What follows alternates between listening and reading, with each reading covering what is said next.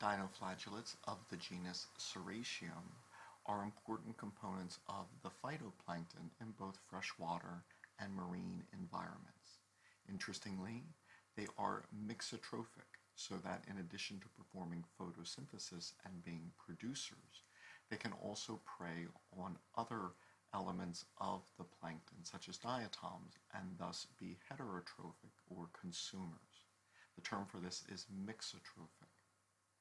They can experience population booms, and during a population boom, their numbers may deplete oxygen levels to the point where fish die. And so the fish kills associated with these population booms are a concern.